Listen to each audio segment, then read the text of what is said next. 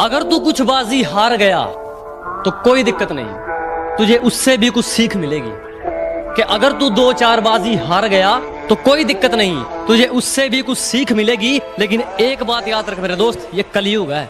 मेहनत करेगा तो सब कुछ मिलेगा। अगर मांगेगा तो सिर्फ़ भीख मिलेगी।